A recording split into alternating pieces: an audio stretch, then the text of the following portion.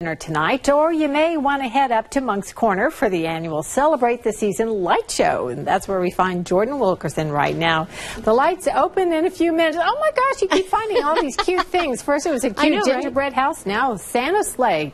That's what I was about to say. I went from the gingerbread house to Santa's sleigh. We're still here at Santee Cooper playing in the snow. It kind of looks like a cloud too. And you were saying the mild weather.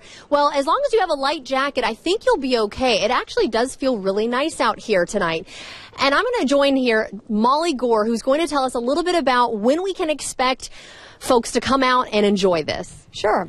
Uh, the gates will be open today at 6 o'clock um, till 9.30 and we're open today and tomorrow Okay. um, we are closed on christmas eve and christmas day and then back in business again on monday through the 30th Okay. so So we still have a lot of time. still a lot of time it's still just $5 a carload still thousands and thousands of lights for people to come out and see fun for all ages Yes, and it's about a mile long. So how long does it take uh, for a car to traverse the area? well you can probably go through in about 10 or 15 minutes Okay. but the beauty of it is with one $5 admission you can go back through and through Oh, over and over again that same night so and all the money goes to charity That's something that is great for everybody. $5 per car, and it's going to charity. And like she said, they'll give you a little ticket stub so that if you wanted to go one more time, you could come right through and check it out again the same night that you've already purchased that ticket. We've got beautiful lights and displays here, so come out and check it out. Of course, coming up a little later on, we'll have obviously the sundown, and we'll be able to see more of these great lights here at Santee Cooper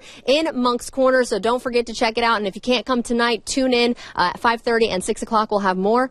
Reporting live from Santee Cooper, Jordan Wilkerson, Live 5 News. Back to you.